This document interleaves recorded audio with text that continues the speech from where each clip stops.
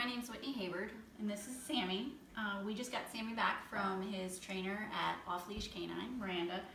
Uh, we reached out to get some help with Sammy because he's a five month old pup, being a pup, um, but he's going to be a 90 pound big dog. So we reached out to Josh and we signed him up. And we've just gotten him back, and he has made an amazing transformation. Um, he listens for the most part. Um, he's still a puppy, um, but he listens to his commands, and just, I think we're gonna have a great time with him. So we really appreciate all the training, we appreciate Miranda, and um, just a great company to work with.